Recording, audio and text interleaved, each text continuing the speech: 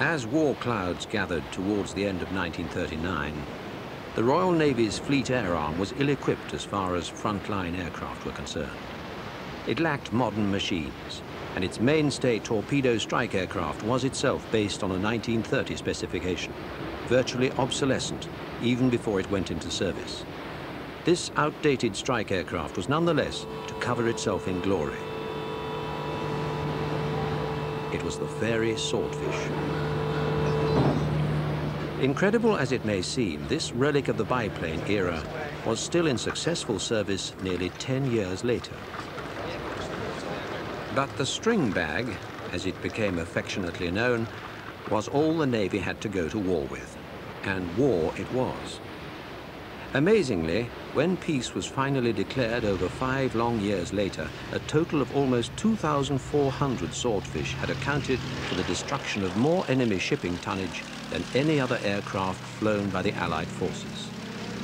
Its outstanding success was the result of two basic facts. Firstly, the swordfish was almost exclusively deployed in environments where the possibility of attack from modern land-based fighters was minimal, and secondly, it had almost viceless handling qualities and superb control characteristics.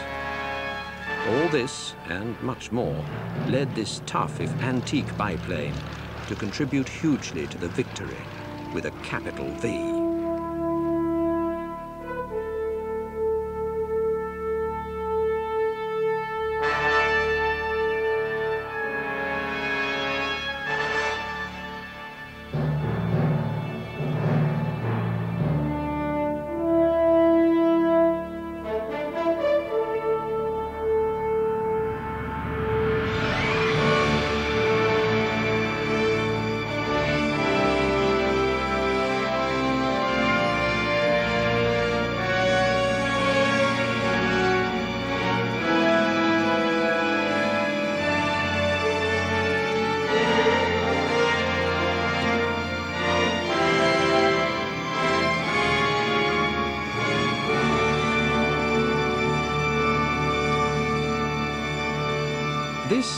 oldest surviving swordfish, the Blackburn-built W5856, has been lovingly restored to a standard probably better than new. Initially, the swordfish was designed and built at the Fairey Aviation Factory at Hayes in Middlesex, from which completed aircraft had their tails hoisted onto truck tailboards and were towed backwards for flight trials to the company's Great West Aerodrome, now London's Heathrow Airport. This prototype swordfish, originally known as TSR-2, first flew in April 1934. In flight, it was stable and docile, if slow, and the ideal mount for a pilot with no experience of the type. Well, I just, uh, I just got in and flew, flew it. I, I can't remember having, having any flying experience with it. I suppose when it was filled up with pilots and observers and and uh, radar and radio and what have you and everything else. I, I know. About 90 knots, I suppose. I mean, if you get a good, if you got a good um, uh, blow of wind, I remember a friend of mine, Alexander, told me when they were moving, moving uh, from one station to another, and there was a hell of a hell of a wind got up, and they were absolutely full up to the gunnels with equipment and everything else belonging to the squadrons, or the bicycles strapped to the side and what have you. You never saw anything like it in your life. Talk about a Christmas tree. And uh, with the wind blowing like that, yes, the car, the car, uh, the cars were going faster. After producing 692 swordfish, Fairey's had a pressing requirement to develop its successor, the Albacore, and so swordfish production was transferred to Blackburn aircraft. Ironically, the swordfish outlived the albacore operationally. It was not long before the Sherburn in Elmet plant, where Blackburns were to build what were to be known as blackfish, set up extensive production lines well away from any enemy bombing threat. Rows upon rows of fuselage and wing skeletons were soon taking shape, for the Blackburn Company was to produce nearly three times more swordfish than Fairey's. The new production plant was established towards the end of 1940 between Leeds and Selby, and the first Blackburn-built Swordfish was test flown on the 1st of December the same year. In many ways, the original site has changed little over the years, apart from its tenants, one of which is the successful Sherburn Aero Club. This had, as part of its beginnings, prominent members of the Blackburn family as founders. Peak production reached 60 swordfish per month. Test pilot H.P. Wilson flew the last from this field on the 18th of August 1944. Today, about 200 people who used to work at the factory still live locally. Ellis Pugh, a maintenance electrician who helped set it up, is one and tells of the early days. Well, when I went down there in 1940, well, there, were only about uh, two, four, about eight of us down there then, because they were still building. And there was building at, more or less at the same time in sections where they was doing uh, the uh, swordfish. And they brought the skeleton swordfish in uh, as a copy for us all to look at just the fuselage. And uh, from then on, they started employing people. And I remember the first plane going out because uh, there was the manager and the lads was pushing the plane that was made for the first time to go out. And then they took it outside and put the uh, petrol in, tested it, and uh, and everybody cheered and away it went, the first one. To be followed by another 1,698 Blackburn Blackfish. In fact, it was maintained that pilots could distinguish between a Fairey and a Blackburn-built swordfish, but history doesn't record which they thought the better. Having seen service not only in the UK, but with the Canadian Navy too, W5856 was discovered in a field after a period of crop spraying in Canada and found its way to the Strathallan collection in Scotland.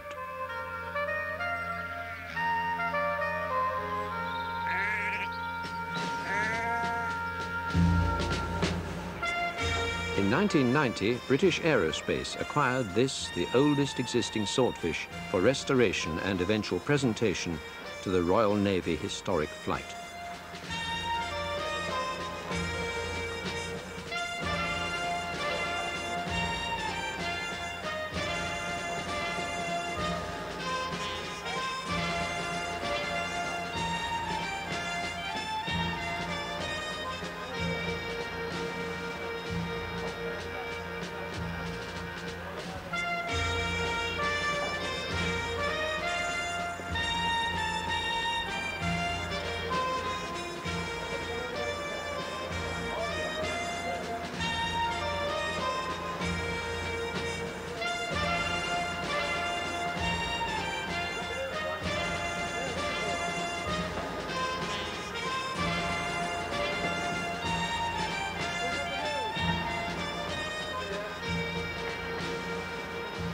Partly restored by enthusiasts at Strathallan, 5856 left Scotland bound for Humberside.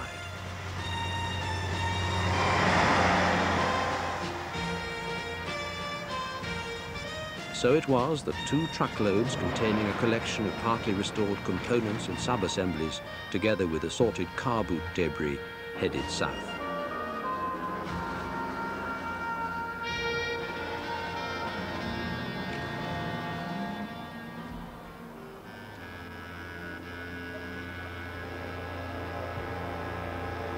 400 miles later, the convoy arrived at the British Aerospace Brough factory, more used to turning out Hawk trainers and major Airbus components.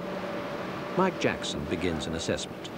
What we've got here is, is the basic fuselage. Um, the superstructure metallically is very, very good. But because this is a flying aeroplane, we're concerned about some of the wood. As we know, it is a skilled task, and under those circumstances, we'll be looking for the kind of skills, the kind of people, and the companies that are able to do this kind of activity.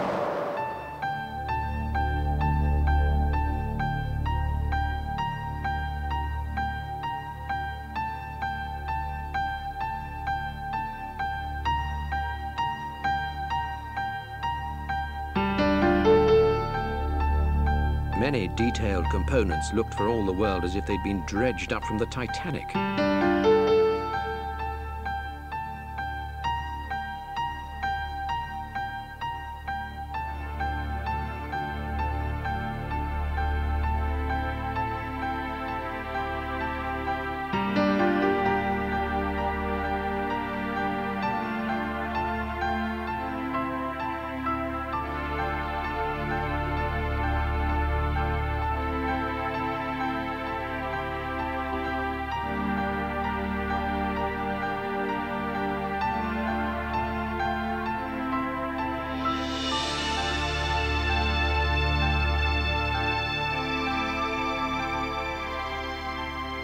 Chisnall is British Aerospace's Director and Chief Engineer and explains the challenge.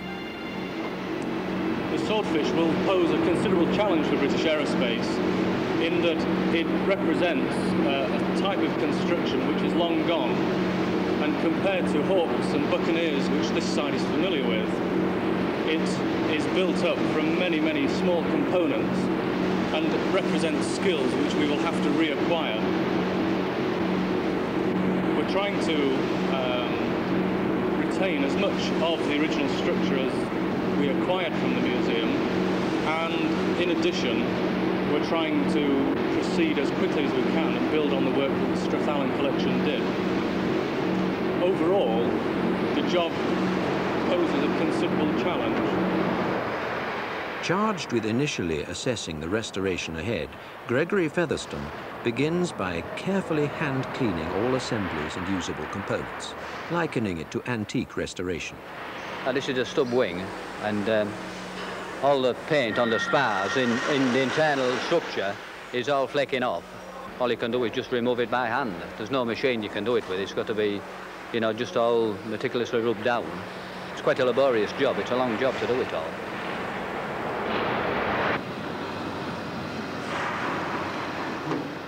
Key to checking just how corroded and indeed damaged the structure is, the various non-destructive testing procedures available today hardly existed 25 years ago, let alone 50, when this swordfish was first built. Fortunately, British Aerospace is in the forefront of this technology and its facilities are readily available. An industrial use of the well-proven medical X-ray technique can look inside a structure by producing an image on a plastic film that can be viewed on a light box. 5856's cracked and worn limbs will show up just like yours and mine would in a hospital. Not only this, but hidden corrosion, the arch enemy of all alloy aircraft structures, will be revealed.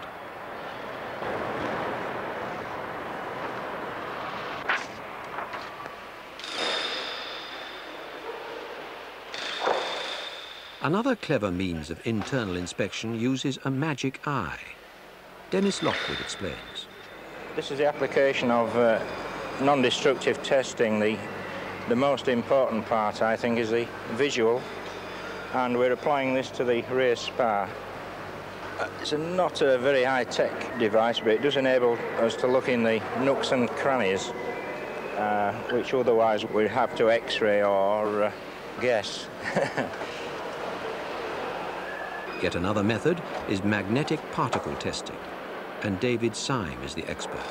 Okay, what we'll do first is we spray on a white background paint, which creates a contrast between the black ink. Black ink is made of magnetic particles, extremely small. We then apply a magnetic force around the component, and as the force is applied, using an AC magnetic coil, magnetic particles bump around any defects or inclusion that may be in the component. These defects or inclusions probably there from its original manufacture. Currently, the only airworthy swordfish in the UK is at HMS Heron at Yeovilton, home of the Royal Navy Historic Flight. The British Aerospace team paid an early visit to discuss Navy requirements in order to make the new swordfish as compatible as possible and to discuss matters of mutual interest. Okay, right. If I can really close the meeting up with a summary, uh, what we've done is we've got the survey status of the plane. We, uh, we're told you've completed the wings and the power unit, yes? Yes, yes, sir. Right. Fuselage 10% complete, did you say? Yes. And you've experienced no big, No major no big problems, okay. The other main problem is your exhaust collector ring. Uh, I would say that we've got an exhaust collector ring here. Is We that- have a spare town, it needs a repair done. Needs a repair. We could send it up for them to look at and decide whether they want to use it. Right, okay. Lastly, and most importantly, the Yeovilton swordfish was carefully inspected, with the British aerospace team familiarising themselves with a flying example. Many details for which no known drawings exist were photographed, making invaluable reference shots.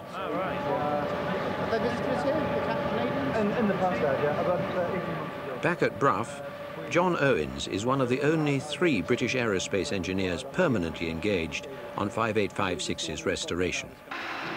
The major problem we found after x-raying, x-raying the, the spars, was that we found corrosion showing up between the two laminations of the two spars. And how we've tackled that is by putting a laminated piece over the top of it, which we dem- will demonstrate to you in a minute how we've done it. And what we've got to do is put a, a section round the outside of the spar to reinforce it. And how we've done that is by making a section up like, th like that to actually clip round. And it's very important that it clips round tightly as that is. Now, the method we've used to actually make, make um, the, the spar repair is very, very simple. What we've actually done is got two lengths of mild steel bar, welded to, just tack welded together and just pulled up quite simply by just pulling them up round to form a section tightly round it. Simple as hell, very effective. Like any permanent splint, the finished article is probably better than new, stronger and very little heavier.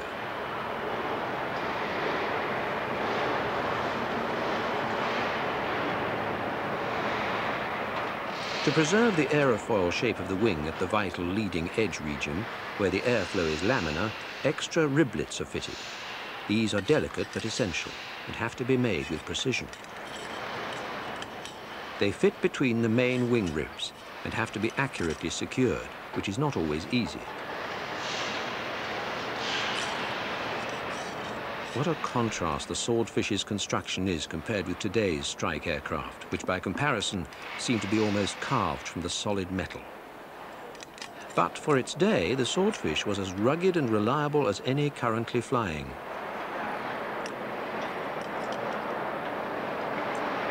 Back in the 1940s, rib assembly was mainly a task for the many ladies drafted in to help with the war effort.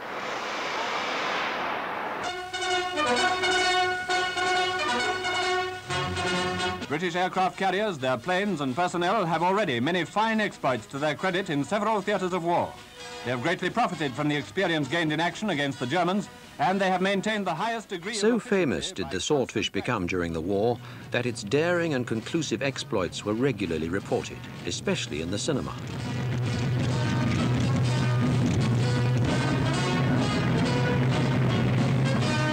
Down in the Mediterranean, the fleet and the fleet air arm have been the dominant factor since Italy decided the time had come to enter the war.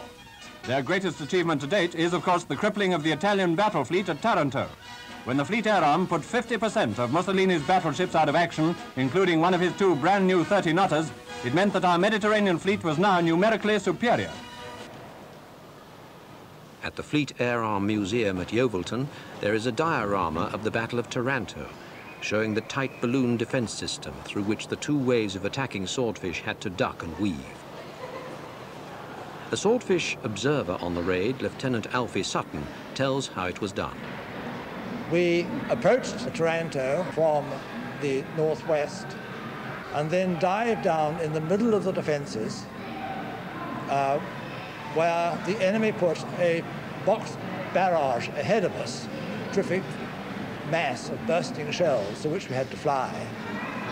And then uh, down onto the water, we came down a little bit too soon, up over the masts of some cruisers which were close to the battleships, and then down again, motoring in towards the battleship anchorage. my pilot Torrens Spence released the torpedo against the battleship the Littorio. It didn't come off. He recocked and the, then released second time, by which time the enemy battleship just about covered the whole horizon and there was a massive stabbing flame at us as we were, the whole ship was firing and all the ships round were firing at us too. We were at an incredible cross point of fire and then having dropped the torpedo, a, a steep bank away to starboard and away. As we got away, a great smash and we thought we were down, but we weren't. We'd hit the water with the wheels of the fixed undercarriage, and John Spence, who was an expert pilot, threw us out of the water, and uh, then we picked our way through the barrage balloon by flying between two floats which we could see on the water, and then out and away and back to the ship. The result of the operation was that we lost two aircraft. One ahead of us was shot down, but for that, we sank three enemy battleships. The immediate effect was that the British, therefore, had predominance in the Eastern Mediterranean for about the next year. Now, this operation was a very in intense and frightening experience. When one got back to the ship, one had a great sense of relief, and then one felt absolutely shattered like a piece of chewed string when one realized what one had been through. As restoration progressed, so major components of the soon-to-be new swordfish, so lovingly restored, could be laid out for all to see and admire. Wings in particular, four in all, plus the top stub wing atop the fuselage, closely resemble a giant model aircraft. But among the more important visitors to witness ever-increasing progress were those from today's Fleet Air Arm, for whom this project was finally destined. They would discuss many topics and agree on mutual help. As these mutual get-togethers progressed, so difficulties were overcome and greater collaboration entered into. Lasting links of friendship so common in aviation were forged.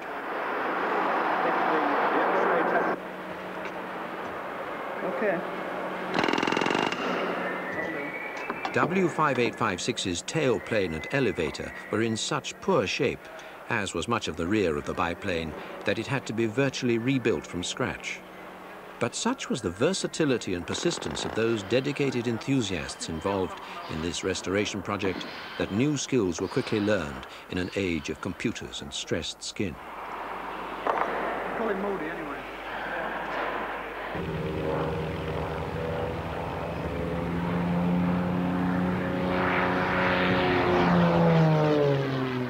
Family's Day at Brough is always a time for young and old alike to see for themselves the achievements of those who today work at the former Blackburn plant, now part of British Aerospace. Examples of current projects are on display with a chance to chat on informal terms to bosses and workers alike. But at the 1991 event, there was an added attraction, the largely renewed skeleton of the oldest existing swordfish, proudly displayed alongside advanced technology Hawks in production for the world's air forces. But why do they build the Hawks upside down, Dad? Easy, son, because they fly upside down.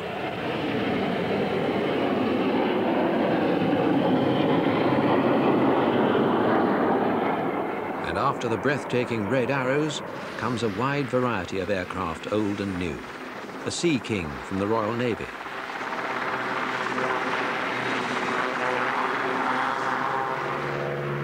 Blackburn B-2 trainer from the 30s.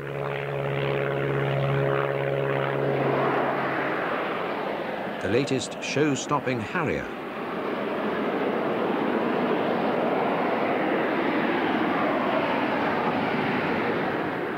And even a grounded tornado?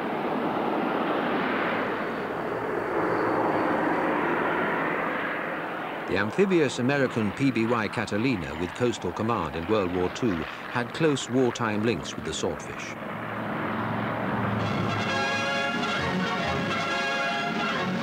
The sinking of the Bismarck was due to the cooperation of the RAF with the Navy. It was a Catalina aircraft, for instance, that did much of the shadowing. When word was passed later to the Western Mediterranean Squadron, British sea power had already gathered its strength to destroy the pride of the Nazi Navy. Admiral Somerville and his staff, working out the position, decided that an attack should be made by the Fleet Air Arm, and from Ark Royal, pitching heavily, Swordfish torpedo bombers took off.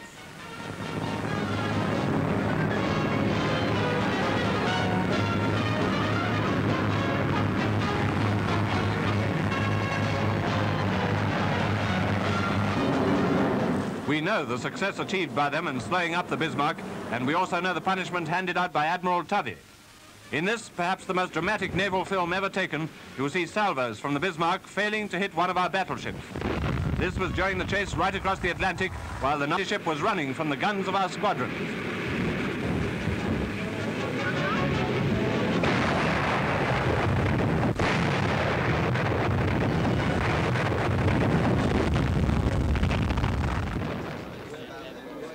Telegraphist air gunners, or TAGs, Les Sayer and John Griffith, recall the Bismarck attack.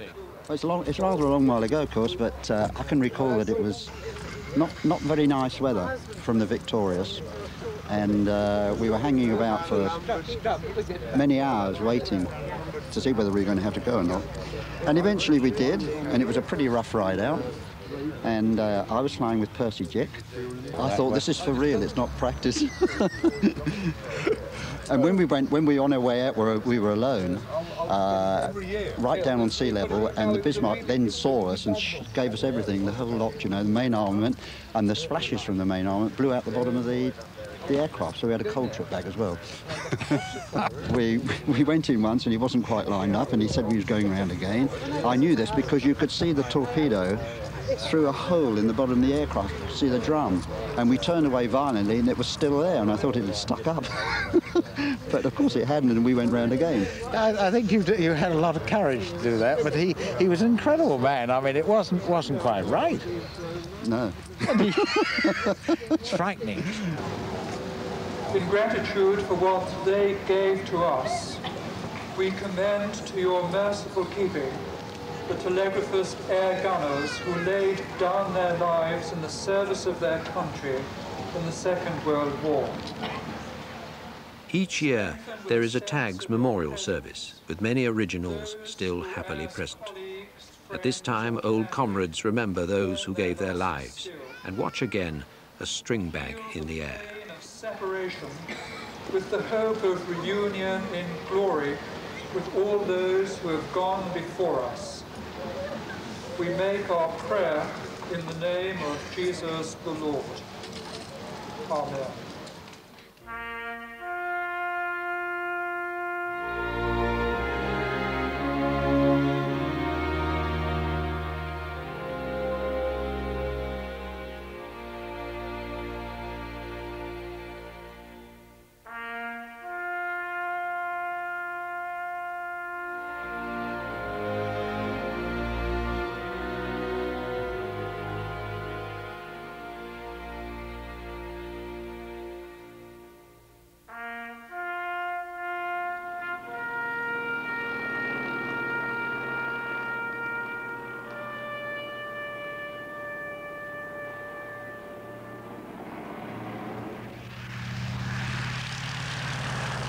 Jimmy Edkins, who worked for the old Bristol Aeroplane Company, was a Pegasus engine troubleshooter with the squadrons.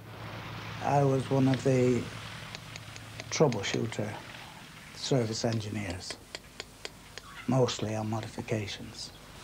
Well, when we first came up to Sherburn, there were what, I wouldn't like to say how many, probably 50 to 100 planes grounded here at Sherburn. So we came up to clear them. Uh, I know that we arrived approximately 4.30 on a Sunday afternoon, went into the factory, and we didn't come out for six weeks. Well, we got that lot cleared up. I was working 36 hours on, 12 off, between 10 of us. But uh, the modifications we had to do, we had to get them going to get aircraft mobile.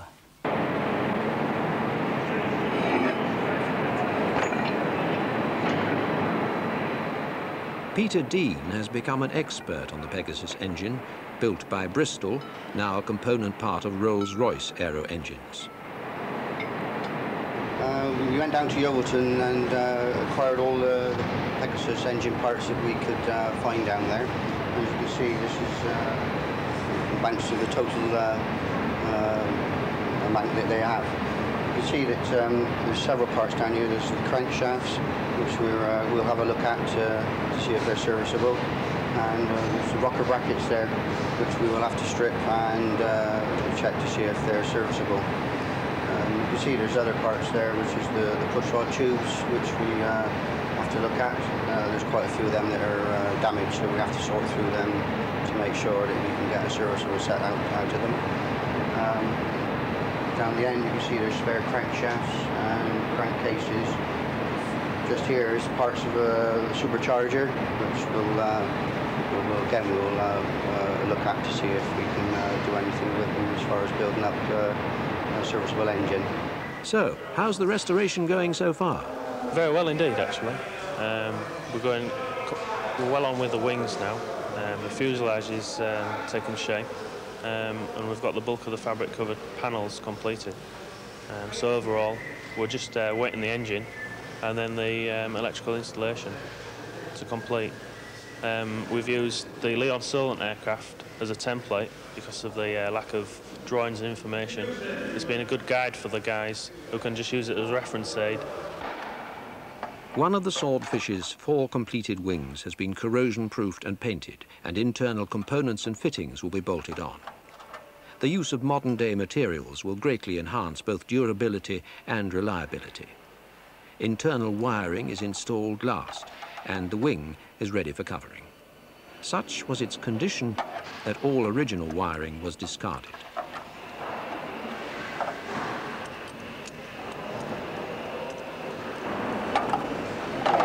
Is Andy coming back? Yeah. Maurice Moore is a resident quality assurance inspector from the Ministry of Defence. As each job is completed, so it is meticulously checked. They've all been out, out and x-rayed and DT'd, No hassles with the any of this. Any problems with the spars, Venus? Only on, on, on the end of the bottle, what we've done, there's two tubes, short tubes, which is inserted inside. Well, on the bottom one, we actually pulled them right out, and we've gone in about three foot put an extra, extra in, and it's actually up about three gauges. By the second half of 1992, as more components were going on the aircraft than being taken off, the restoration process was gathering pace. Here, the standard 155-gallon fuel tank is being fitted. Sometimes extra tanks were installed in the rear cockpit for special duties and ferry flights.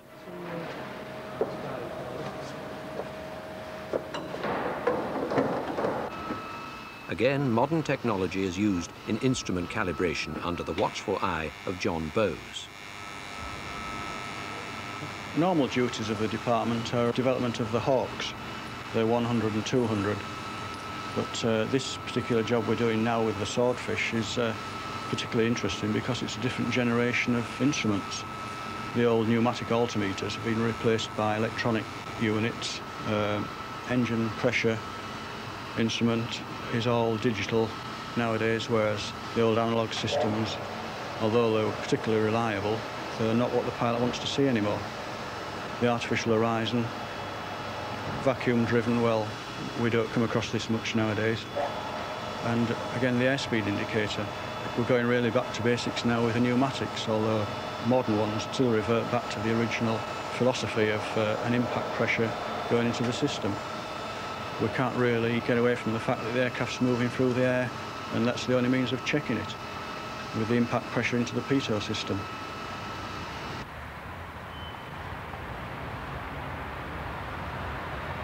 Five eight five six's first all-weather mission was a quick dash from its hangar across the apron on dead reckoning. For both safety and convenience, the Swordfish Reborn was painted in the Brough fire station. But it didn't come out red or on fire.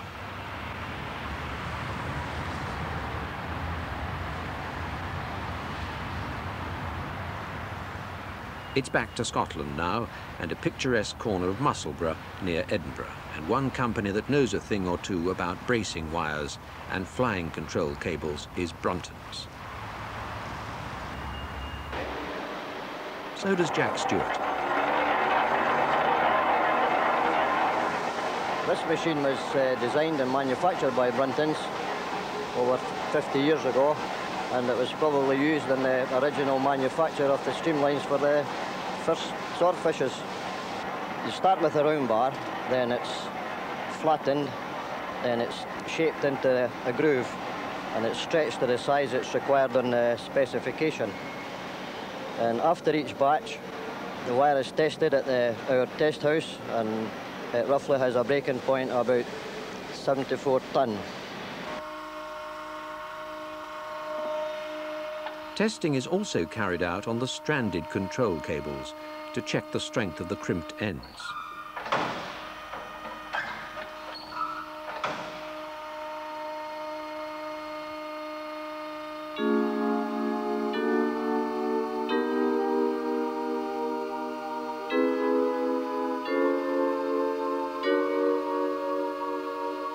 But before cable ends were crimped, they used to be spliced. And Edna Copley used to do it. Well, I trained at um, Leeds, Blackburn's at Leeds, and then when they opened, I came and, uh, down to Sherburn, and uh, I, I was uh, splicing then at Sherburn for the um, for the flying controls. I spliced for those, and uh, whilst I was doing that one night, Jean Batten, she used to come quite often to collect them after being the final uh, inspection had been given for them, and she used to come and collect them and uh, go along, take them along then to the base where they had to go to. And uh, one night she gave me a autograph, photograph of herself and an autograph, which I was very proud to receive. Happy times. Emerging from the hangar, a completed wing is about to be weighed prior to covering. Weight is the enemy of flight, and every unnecessary pound will penalize aircraft performance. But final assembly is approaching and completion in sight.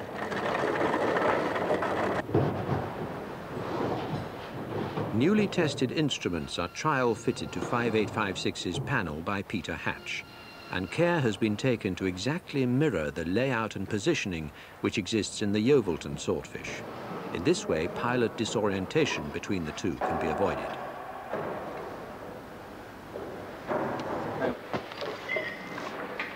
Meanwhile, the delicate process of weighing this wing and all other major sub-assemblies takes place using scales hanging from a suitable gantry. Simple but effective. 76, yeah. Anxious eyes patiently wait for the suspended wing to gently return to Earth. This one's had some repairs on it. Ten pounds Lower it down now. Don't want it hanging too low. Like a lot of clever ladies, Margaret Bennett had a passion for sewing and has always lived in the Sherburn area. Many's the string bag she has sewn together, and she was one of dozens on the old Blackburn production line. The war broke out after Cats. Another job, so I didn't have to go away from home.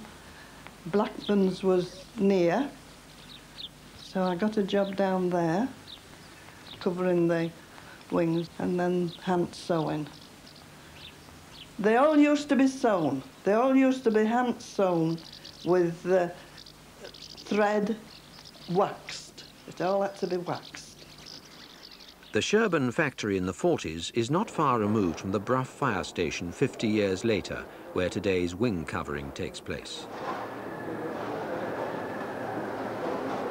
Today, Dave and Patricia Fenton stretch, stitch and dope fabric for a living and perpetuate those old intricate skills in these days of bent tin and rivets. We've learned a lot. We learn something new every day on this job. But the fundamental problem is the material you're actually working with, that it's a linen fabric. It's, it's fairly heavy, and there's there's virtually no stretch in it, there's no give in it, as it were. So the, the tension that you see now on the wing is what you must have. The, the dope won't work miracles. So the tighter you can get the fabric now at this stage in, in the covering, uh, the better is, is the end product is going to be. Because the dope will only shrink it a small percentage um, to make it tight enough to be airworthy. So we've got to do the rest by pulling, stretching um, at this stage. That's, that's the biggest single fundamental problem, I think. And then there are the mechanics of, of the job, that it's, it's on a fairly large scale. So with only the two of us, we can't do things as quickly as perhaps we'd like. So we're stuck with having raw fabric in this state for maybe a day or two days, which is not recommended. Um, so we have to control temperature and humidity fairly carefully.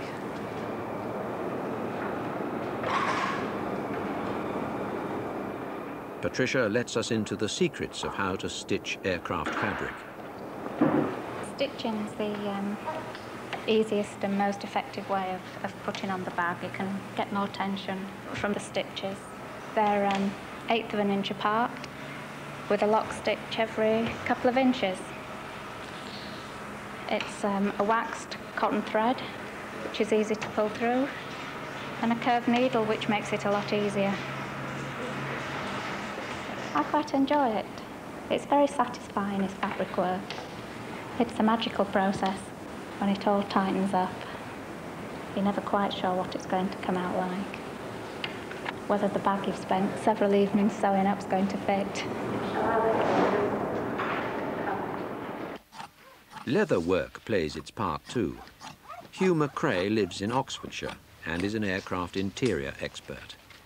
But modern-day regulations have to be adhered to, even for 50-year-old aeroplanes. Well, obviously the materials they used to, to fill the cushions before don't meet the new standards for the CAA regulations. So I've obviously conformed with the, new standards for filling for the cushions and things like that. There's three seats in the, obviously to be done in the swordfish and uh, paddings for around the cockpit.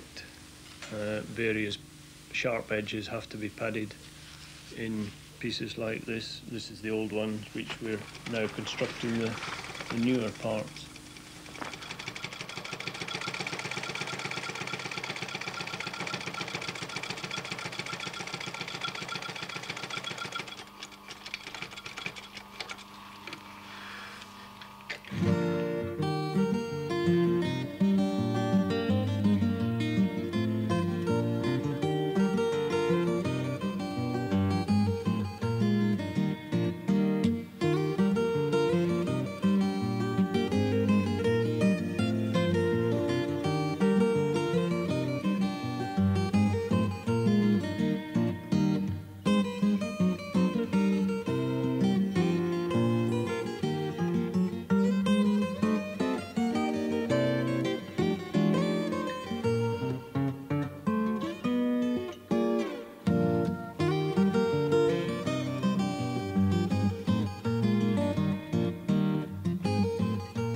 Altogether, three coats of dope are laboriously brushed on and rubbed down before the final finish is applied. Meanwhile, back at Bristol, Peter Dean has news for us. This is the start of the engine uh, assembly process now. This is the, the mounting ring which we will now start to build the engine uh, off of. Uh, originally we had a few cracks on here which we have now well repaired uh, and, and we have now painted it. So we assemble it to the stand and now we'll uh, start assembling, trial assembling the, the rear crankcase half, which is uh,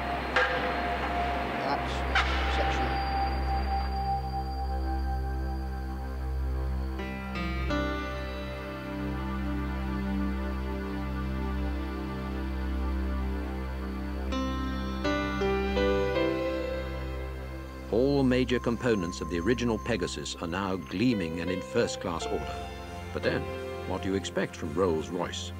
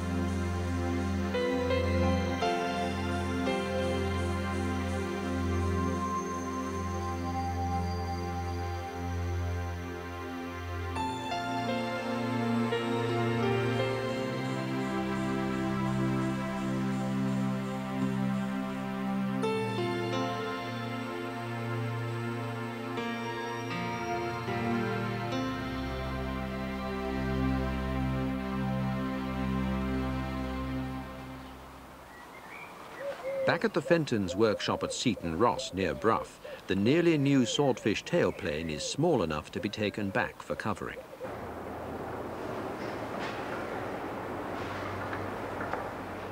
After the wings and tailplane have been stitched and doped, stringing takes place. This is where the tautened fabric is stitched onto the individual ribs to prevent fabric slippage. This is a nostalgic moment for Margaret Bennett, as she recalls her days stringing string bags. We used to string them. Two of us worked, one at the front with the needle and the string. Push the needle through to your partner. She used to push it back from the top to the bottom. Then we would do all the, all the ribs that way. Then we used to knot it, and that was the wing completed. They would spray them, then take them through into the main shop to uh, put on the on the planes. Happy days, happy days. Yes, they were. Apart from strength and durability, fabric-covered aircraft were, as are frontline aircraft today, painted for many reasons. Nationality, of course, squadron identity, even operational role, and sometimes personal quirk. And here is the livery selected for 5856, in the colours of the commander of 810 Squadron, whilst aboard HMS Ark Royal, summer 1939.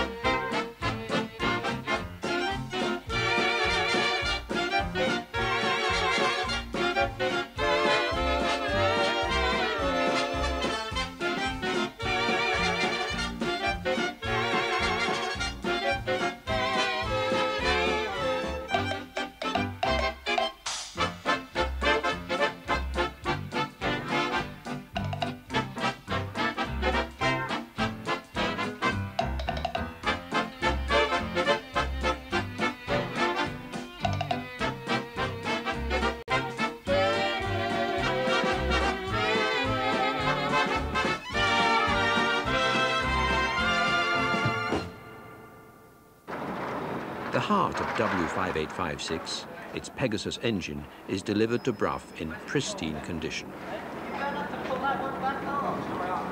This ubiquitous power plant was one of several outstanding air-cooled radial engines designed and built by Bristol's and was fitted to numerous single and multi-engined aircraft of the time.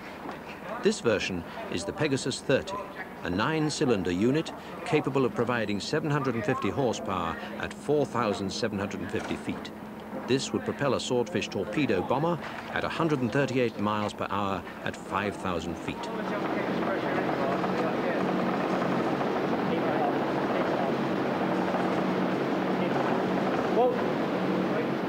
Fitting 5856's wings proved the first real obstacle in the assembly, and it eventually took two days to get it right. With twice as many wings to fit, alignment and rigging seemed to be eight times more difficult. Not only did the outer panels have to fit the stub wings accurately, but the folding geometry had to be perfect. Added to this was the strutting and wire bracing between each pair of wings, the correct dihedral angle and incidence. But as with all other temporary problems encountered, the problem was eventually solved, and wings to fly it had. Trev. Okay. Come down. Down.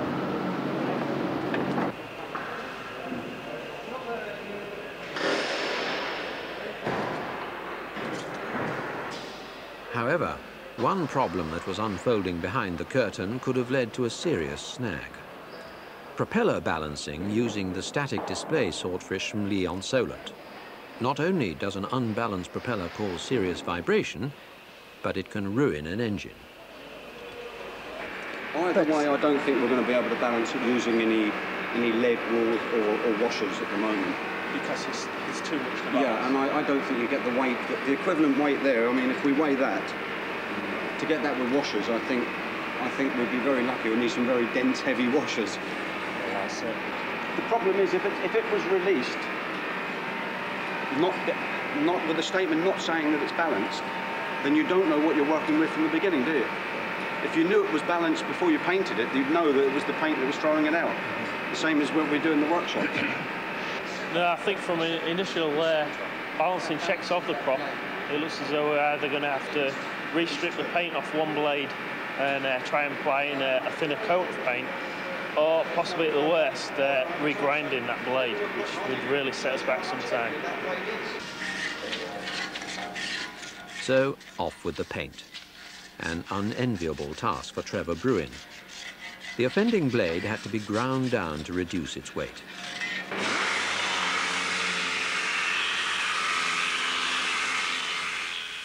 All this took place under the watchful eye of Colin Webb from H&S Aviation. Must take it off, doesn't it? This, yeah. Mm. yeah. Well, I think what we're going to have to do is we'll have to get it as closely as we can without the paint on, and that, that then allows you, gives you leeway for when you paint it to put it on evenly.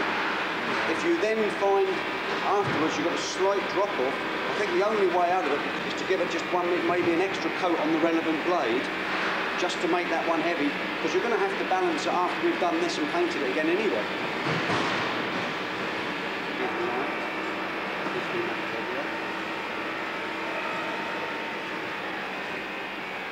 In the end, all was well.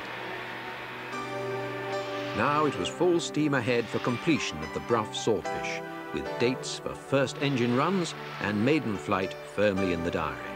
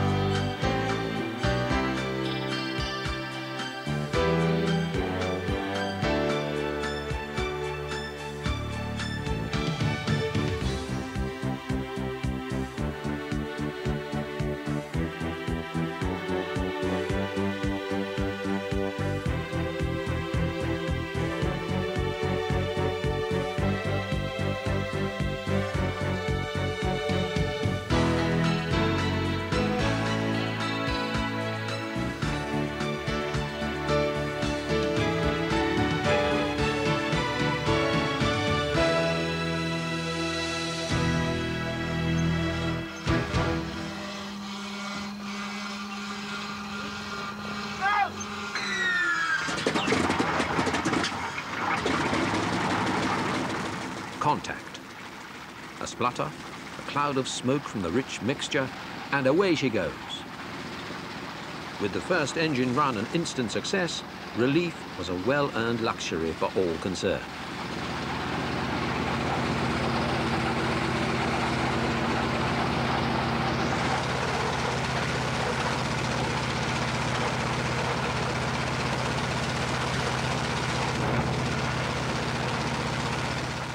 This must be a great day, Trevor. Great, yes. It's uh, magnificent to see it going, you know, after all these years, all this work we've put in. Really good. Yeah, really pleased about it. Best time as well. Superb. Very happy up to now. As long as everything, when them two chaps get out that cockpit, they're highly delighted. We will be. First time. First time. Very amazing after two and a half years. We've achieved it.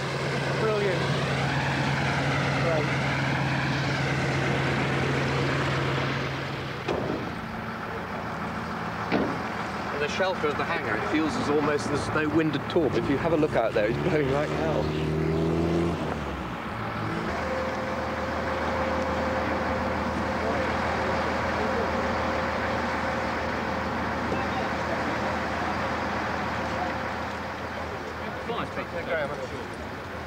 That's where we're doing it.